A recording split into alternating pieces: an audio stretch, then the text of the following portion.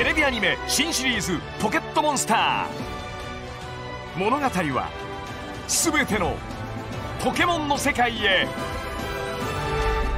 今度はダブル主人公。サトシ。俺は必ずポケモンマスターになってやる。ダメかペンペカチそしてもう一人。ゴー。全てのポケモンのゲットパートナーは新ポケモンヒバニー。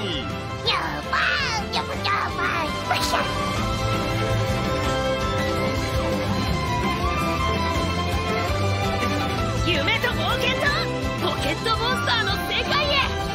レッツゴーポケットモンスターテレビ東京系にて11月17日放送スタート